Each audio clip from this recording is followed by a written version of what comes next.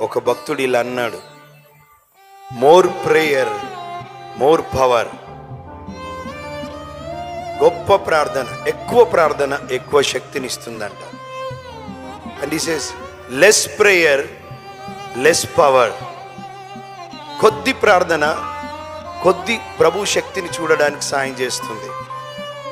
No prayer no power ప్రార్థన లేకపోతే దేవుని శక్తిని మనం చూడలేం.